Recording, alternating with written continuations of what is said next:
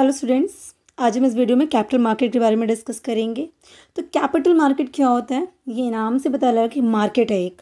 किस चीज़ का मार्केट है? कैपिटल का मार्केट है। मार्केट में हम क्या करते हैं? परचेज और सेल करते हैं। है ना? अगर आप वेजिटेबल मार्केट में जाएँगे तो आप वेजिटेबल परचेज एंड सेल करेंगे। आप फ्रूट मार्केट में जाएँगे तो फ्रूट परचेज एंड सेल हो रहा होगा। अब किसी भी मार्केट में जाते हैं तो वहाँ पर्टिकुलर कमोडिटीज़ जो भी होती है, उसकी सेल परचेज हो रही होती है। तो अगर ये कैपिटल मार्केट है तो यहाँ पे कैपिटल की सेल परचेज हो रही होगी। अब कैपिटल ऐसा तो है नहीं कि पैसा आ रहा है और जा रहा है। कैपिटल को इन फॉर्म ऑफ़ सिक्योरिटीज़ हम डील करते हैं। तो एक ऐसा मार्केट जहाँ उन सिक्योरिटीज़ में डील किया जा रहा होगा, उन सिक्योरिटीज़ का परचेज सेल हो रहा होगा, जो कैपिटल का फॉर्मेशन करती हैं। जिससे कैपिटल फ्रेम होती है। तो उसे हम क्या कहते हैं? कैपिटल मार्केट कहते हैं राइट सो कैपिटल मार्केट क्या हो गया? कैपिटल मार्केट एक फाइनेंशियल मार्केट हो गया। क्यों? क्योंकि यहाँ पे कैपिटल फॉर्म की जा रही है ना, कैपिटल बन रही है। और कैपिटल क्या है? फाइनेंस रिलेटेड टर्म में फंड इकट्ठा हो रहा है।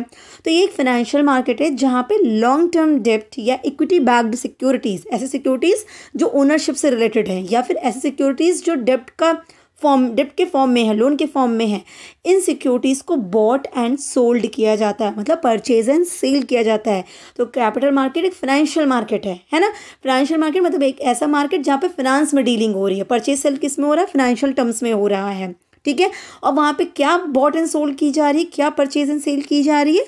ऐसी सिक्योरिटीज़ चाहे वो डेप्ट के फॉर्म में हो और चाहे चाहे फिर वो ओन इक्विटी के फॉर्म में हो, उनके सेल एंड परचेज हो रही होगी। So it is a place where long term and medium term financial instruments are या इंस्ट्रूमेंट्स या सिक्योरिटीज़ आर ट्रेडेड तो एक ऐसा प्लेस जहाँ पे financial instruments means financial securities securities जो लॉन्ग टर्म या मीडियम टर्म की होंगी, उनकी ट्रेडिंग हो रही है, उनकी परचेज एंड सेलिंग हो रही है। है ना? तो कैपिटल मार्केट मेनली एक मार्केट एक प्लेस जहाँ पे लॉन्ग टर्म सिक्योरिटीज़ को सेल एंड परचेज किया जाता है। अब वो लॉन्ग टर्म सिक्योरिटीज़ क्या फ्रेम करती हैं? वो कैपिटल का फॉर्मेशन करती हैं। ठीक है? देखिए, एक मनी मार्केट होता है, एक मनी मार्केट होता है और एक कैपिटल मार्केट होता है। मनी मार्केट में हम शॉर्ट टर्म सिक्योरिटीज़ को डील करते हैं। है ना? जिनके जो year less than one year में डील कर रही होती हैं ट्रेजरी बिल्स वगैरह होती हैं तो इनकी हम डीलिंग करते हैं। उनको मनी मार्केट कहते हैं और जहाँ पे हम कैपिटल फॉर्म कर रहे हैं, कैपिटल मतलब ही समझ में आए, जो लंबे समय के लिए आपको ज़रूरत पड़ती है है ना? तो जो ऐसा मार्केट जहाँ पे लॉन्ग टर्म सिक्योरिटीज़ में डील करते हैं, वो कैपिटल मार्केट कहलाता है। अब टाइप ऑफ़ कैपिटल मार्केट की बात करते हैं तो बेसिकली दो तरीके से हमारा कैपिटल मार्केट आता है। एक आता है हमारा प्राइमरी मार्केट और एक आता हमारा सेकेंडरी मार्केट आता है। प्राइमरी मार्केट को ही हम क्या कहते हैं? न्यू इशू मार्केट भी कहते हैं। प्राइमरी मार्केट को हम न्यू इशू मार्केट भी कहते हैं। न्यू मार्केट का मतलब क्या हो गया? ऐसी ऐसी जगह पे ऐसी चीज़ें ऐसी मार्केट जहाँ पे पहली बार कंपनीज़ अपनी सिक्योरिटीज़ को ला के कैपिटल बना रही है। कैपिटल का फॉर्मेशन हो रहा है है ना? जो इनिशियल लेवल पे फ़र्स्ट टाइम पब्लिक को ऑफ़र कर रही है कंपनी सिक्योरिटीज़ उनको उस, उस मार्केट को हम कहते हैं प्राइमरी मार्केट या न्यू इशू मार्केट कहते हैं। सेकेंडरी मार्केट क्या हो गया? आपका ऑलरेडी इशूड मार्केट कहलाता है। हम एक ही करके देख लेते हैं कि प्राइमरी मार्केट क्या हो गया? Also called a new issue market right? और ये यहाँ पे क्या होता है, हम उन सिक्योरिटीज़ की ट्रेडिंग करते हैं जो न्यू हैं, जो फ़र्स्ट टाइम लॉन्च की जा रही हैं। और यहाँ पे क्या होता है, मोबिलाइजेशन ऑफ़ फंड होता है मतलब फंड क्रिएट होता है यहाँ पे, मोबिलाइज होता है एक्वायर किया जाता है। क्योंकि यहाँ फ़र्स्ट टाइम सिक्योरिटीज़ इशू की जा रही हैं तो पहली बार कैपिट सिक्योरिटी इशू की गई तो पैसा आया। पैसा आया तो फंड क्रिएट हुआ। तो यहाँ पे मोबिलाइजेशन ऑफ़ फंड होता है। अब ये होता कैसे फंड क्रिएट कैसे कर पाती है? सिक्योरिटीज़ को नया इशू कैसे कर पाती हैं? तो कंपनीज़ प्रॉस्पेक्टर्स के थ्रू या राइट इशू ला के या फिर प्राइवेट प्लेसमेंट्स के थ्रू मतलब जो प्राइवेट कंपनीज़ होती हैं, वो अपने फ्रेंड्स रिलेटिव इनके थ्रू प्राइवेट प्लेसमेंट के थ्रू ये फंडिंग इकट्ठा करती हैं। तो इनको हम कहते हैं प्राइमरी मार्केट कहते हैं। राइट अब बेसिकली क्या हो गया, अगर सेकेंडरी मार्केट की बात करते हैं तो सेकेंडरी मार्केट वो मार्केट हो गया जहाँ पे ओल्ड सिक्योरिटीज़ की डीलिंग की जाती है। ओल्ड सिक्योरिटीज़ का मतलब जो ऑलरेडी ट्रेडेड हैं, जिनको ऑलरेडी इशू किया जा चुका है कंपनी के थ्रू और अब एक बार परचेज करने के बाद वापस से उनमें ट्रेडिंग हो रही है, वापस उसकी सेल परचेज हो रही है तो हम इसे कहते हैं कि ऑलरेडी ट्रेडेड तो जो प्रीवियसली इशू की जा चुकी हैं प्राइमरी मार्केट में, उनको वापस से इशू किया जा रहा है मतलब वापस से उनकी ट्रेडिंग हो रही है. इशू नहीं है वापस से ट्रेडिंग हो रही है, उनकी सेल परचेज हो रही है. तो उस, वो जिस मार्केट में होती है, उसको हम क्या कहते हैं सेकेंडरी मार्केट कहते हैं. देखिए, एक चीज़ बहुत क्लियरली माइंड में रखेगा कि ये जो परचेज सेल की बात होती है, वो होता क्या है? जो पब्लिक होती है, वो क्या करती है? इन्वेस्टमेंट करती है। पब्लिक कहती है कि हम अपने पैसे को इन्वेस्ट कर रहे हैं। बेसिकली आप जब पैसा इन्वेस्ट करते हो तो पैसा उठा के किसी को देते हो और बदले में एक कागज़, एक सिक्योरिटी लेते हो। अब वो डिजिटलाइज फॉर्म में होता है या पेपर फॉर्म में होता है तो आप एक पेपर लेते हो। अब उसमें क्या लिखा होता है कि भाई, ये पैसा आपका इस कंपनी को गया, आपको इतने साल के बाद रिटर्न होगा, इतने रेट से मिलेगा, ये सब चीज़ें आपको लिखी होती है सिक्योरिटीज़ में। तो आपने अपना पूरा पैसा, आप क्या कहते हो, मैंने इस कंपनी में इन्वेस्ट कर दिया। बेसिकली हुआ क्या? आपने एक सिक्योरिटी लेके अपने पैसे किसी को दे दिए। अब जिसको आपने दिया, जिस कंपनी में आपने इन्वेस्टमेंट किया, उस कंपनी के लिए वो पैसा आया। उनके लिए क्या हो गया? वो पैसा इकट्ठा हो गया। वो कैपिटल बना देता है उनके लिए। अब उसी पैसे से वो बिज़नेस करते हैं। ठीक है? और आपको जो कहा है कि हम आपको रिटर्न देंगे, वो आपको देते हैं। तो आपके लिए वो क्या हो गया? इन्वेस्टमेंट हो गया। पर कंपनी के पॉइंट ऑफ़ व्यू से क्या हो गया? कंपनी के पॉइंट ऑफ़ व्यू से उसने पैसा इकट्ठा किया मोबिलाइज किया फंड को, ठीक है? तो ये परचेज सेल यही है बेसिकली ठीक है? अभी जब आप इनके फ़ंक्शंस को देखेंगे या सिग्निफिकेंस को देखेंगे तो आपको इन बातों की, इन बातों में ज़्यादा क्लैरिटी आती है, ठीक है? अब सेकेंडरी मार्केट में क्या होता है? सेकेंडरी मार्केट में ट्रेडिंग जो होती है, वो इन्वेस्टर्स के बीच में होती है। देखिए कंपनी हो गई कंपनी ने पहली बार लाया है ना? मान लीजिए हम एक एग्ज़ाम्पल के लिए थे एबीसी कंपनी थी। एबीसी कंपनी को पैसे की ज़रूरत थी कैपिटल बनाना था। तो एबीसी कंपनी ने अपने शेयर्स लेके आए। जब वो अपने शेयर्स लेके आई पैसा इकट्ठा करने के लिए तो उसने क्या कहा? उसने कहा कि मैं एक कंपनी हूँ, मेरे शेयर्स आप परचेज़ करिए। आपने सोचा कि नई कंपनी है, अच्छी कंपनी है, हो सकता है ग्रोथ करेगी, बहुत मेहनत करेगी, इस इंडस्ट्री को बिलोंग करती है तो इस इस इंडस्ट्री में तो ग्रोथ होता ही है। अब लाइक कोविड है। कोविड के केस में सबको पता है कि मेडिसिन्स बहुत मैटर करी हैं। वो भी कोल्ड कफ की मेडिसिन ज़्यादा आई हैं, है ना? तो अब कोई कंपनी रिसर्च में आ रही है, कोई कंपनी स्टैब्लिश हो रही है, न्यूली स्टैब्लिश हो रही है रिसर्च को लेके इन सब चीज़ों में तो हमें पता है कि हाँ फार्मास्यूटिकल से रिलेटेड है तो ग्रो करेगी, क्योंकि इस टाइम सिनेरियो में ये चीज़ें चल रही हैं। तो हमें ये देखते हुए कहा कि ठीक है, हम इसमें इन्वेस्टमेंट करेंगे। अब आप तो उसे इन्वेस्टमेंट कह रहे हैं तो पर्टिकुलर कंपनी क्या कर रही है? कह रही है शेयर्स के थ्रू में पैसा चाहिए, क्योंकि वो कैपिटल इकट्ठा करेगी, तभी तो वो बिज़नेस करेगी। तो जब एबीसी कंपनी ने फ़र्स्ट टाइम शेयर इशू किया और आपने उसे पैसे दिए। तो आप, ये क्या हो गया? ये प्राइमरी मार्केट हो गया। पहली बार उसने लॉन्च किया, आपने कैपिटल उठा के दे दिया। आप इन्वेस्टर अभी भी बन गए। आप इन्वेस्टर बने, आप शेयर होल्डर्स बने और उसने क्या किया? पैसे इकट्ठा कर लिया। अब आपके पास, आप थे मिस्टर वाई आपने वो शेयर परचेज किया था। अब आप क्या हो गए? फ़र्स्ट इन्वेस्टर हो गए। जब आप इसके शेयर्स को एबीसी के शेयर्स को मिस्टर एक्स को सेल करना चाहते हो या मिस्टर डी को सेल करना चाहते हो तो आपने उसको डी को सेल कर दिया। अब क्या हुआ? डी को जब आपने सेल किया तो जो पैसा आया, वो कंपनी को नहीं गया। वो पैसा किसको गया? वो पैसा आपको गया, है ना? पैसा आपको क्यों गया? क्योंकि आपके पास वो शेयर्स थे, अब आपने उस शेयर्स को सेल किया। कंपनी को तो जो मिलना था आपसे मिल चुका। तो यहाँ पे क्या होता है सेकेंडरी मार्केट में कंपनी को कैपिटल फॉर्म नहीं होती है। कंपनी के पास कैपिटल का mobilisation fund mobilisation of funding नहीं हो रही है। कंपनी के लिए नहीं क्रिएट हो रही है। इन्वेस्टर्स के बीच में हो रहा है अब ये। अब ये एक्स वाई को करेंगे वाई डी को करेंगे डी सी को करेंगे मतलब आपस में डीलिंग हो रही है। तो यहाँ सेकेंडरी मार्केट में जो सेल परचेज होती है, वो इन्वेस्टर्स के बिटवीन होती है। है ना? अब ये इन्वेस्टर्स कोई कंपनी भी हो सकती है, लेकिन कैपिटल का क्रिएशन यहाँ पे नहीं होता है। Fund create mobilisation of fund company जो फ़र्स्ट फॉर्म में क्रिएट कर रही होती है वो यहाँ पे नहीं होता है। ये बेसिक डिफरेंस है प्राइमरी मार्केट और सेकेंडरी मार्केट का राइट अब ये सेकेंडरी मार्केट कौन कवर करता है? स्टॉक मार्केट और ओटीसी मार्केट कवर करती हैं। ओ मतलब ओवर द काउंटर से बैंक वगैरह हो गई। तो उनके थ्रू ये सेकेंडरी मार्केट की डीलिंग होती है राइट अब हम बात करेंगे कैपिटल मार्केट के स्ट्रक्चर की। तो कैपिटल स्ट्रक्चर मतलब जिनसे बना है, पूरा कैपिटल मार्केट कैसे फ्रेम हुआ है?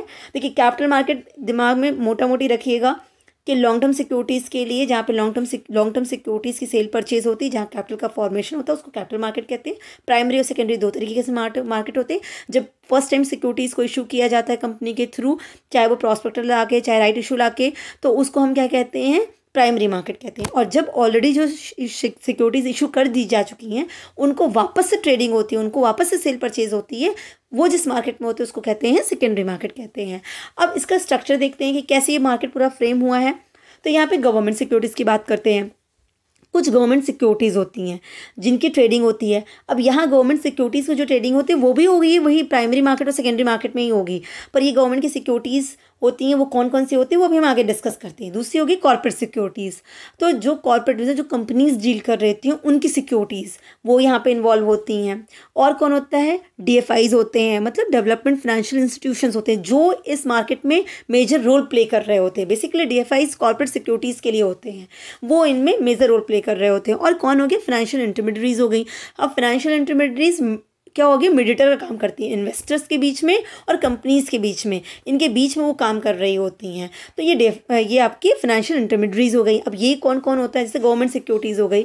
तो गवर्नमेंट सिक्योरिटीज़ मतलब पी एस के बॉन्ड हो गए एस हो गए स्टेट जो होते हैं आपकी एस हो गई या ट्रेजरी बिल्स हो गए या स्टेट गवर्नमेंट्स के लोन हो गए गवर्नमेंट के लोन हो गए, ये सारी सिक्योरिटीज़ हो गई, आपकी गवर्नमेंट सिक्योरिटीज़ हो गई। अब यहाँ पे इनको क्या कहते हैं? इनको रिस्क फ्री सिक्योरिटीज़ कहते हैं या इसको कहते हैं रिस्क फ्री मार्केट यहाँ पे भी वही दो चीज़ें होंगी। यहाँ पे भी न्यू इशू मार्केट और सेकेंडरी मार्केट होगा। पर यहाँ पे जो मेजर रोल प्ले करेगा वो कौन करता है? R B I R B I dominant role play कर रहा होता है। तो यहाँ पे क्या होता है कि इन्वेस्टर्स ऐसे सिक्योरिटीज़ में इन्वेस्ट कर रहे होते हैं जहाँ पे इनको रिस्क बिल्कुल ज़ीरो है। रिस्क इनको नहीं लेना है। इनका रिटर्न कन्फर्म होता है। तो वो वो भी कैपिटल मार्केट के स्ट्रक्चरिंग में अपना रोल प्ले कर रही होती हैं।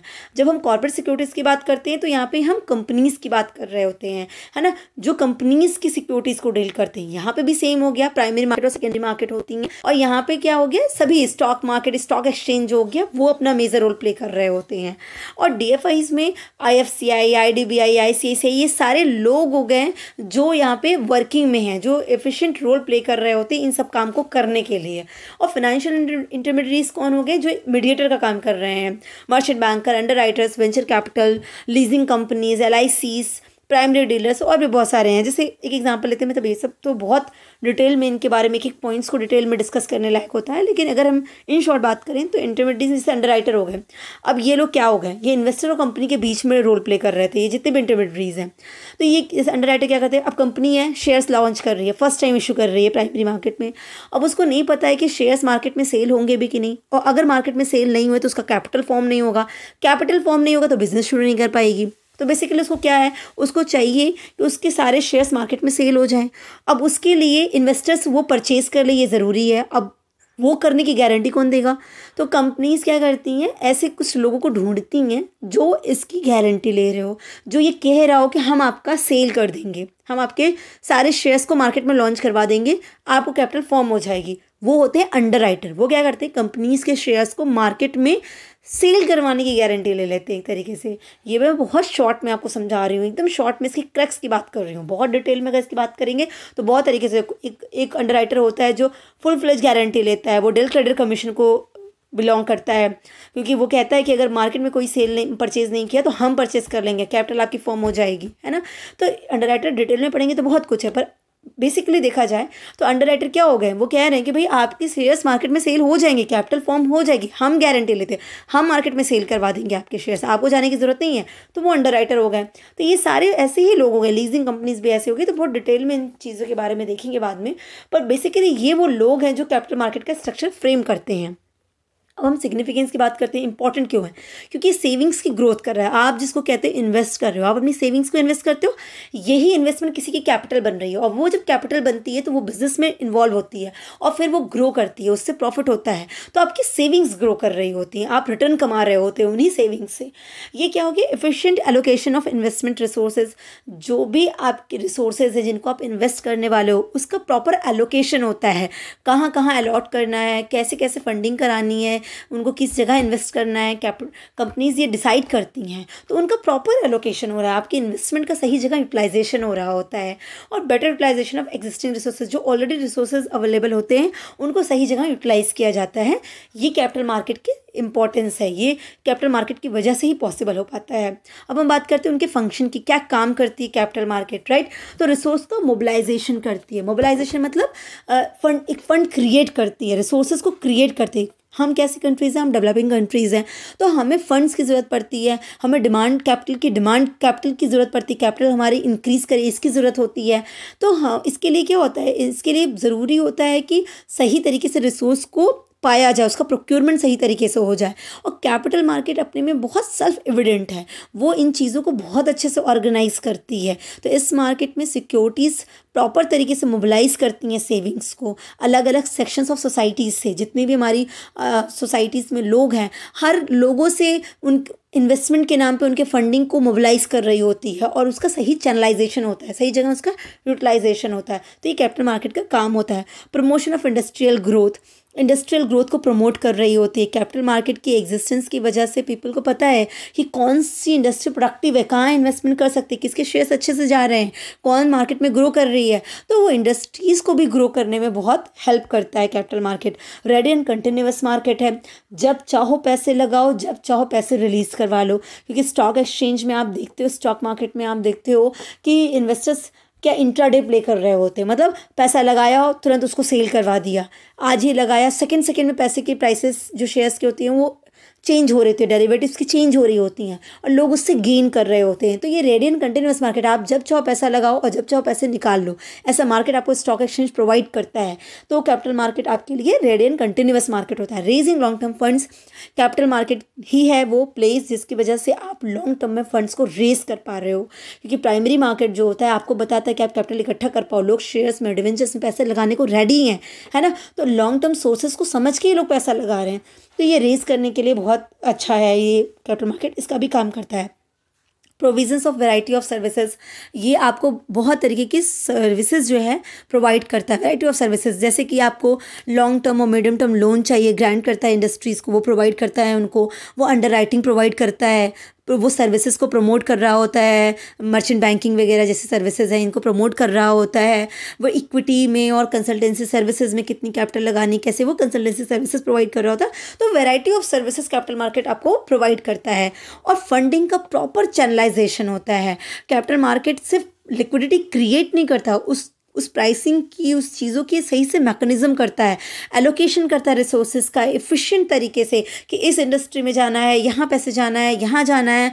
प्रॉपर चैनलाइजेशन फंडिंग की होती है, जो पब्लिक के पैसे हैं, जो इन्वेस्टमेंट किए गए पैसे जो पैसे आए हैं, उसको सही तरीके से चैनल करता है, उसको एलोकेशन सही तरीके से करता है और फॉरेन कैपिटल के लिए भी बेस्ट मार्केट होता है। आप देख रहे हैं कि एफ़ जो फॉरेन डायरेक्ट इन्वेस्टमेंट है, वो बहुत इंपॉर्टेंट है आपके लिए, आपकी जीडीपी के लिए, आपकी ग्रोथ के लिए और कैपिटल मार्केट आपको फॉरेन कैपिटल इकट्ठा करने का एक बेटर प्लेस हो जाता है। एफ़ डी आईज़ यहाँ पर प्रमोट की जाती है इन्वेस्टमेंट यहाँ पे होती है तो फॉरेन कैपिटल भी यहाँ पे क्रिएट होती है। तो ये सारा कैपिटल मार्केट का काम हो गया।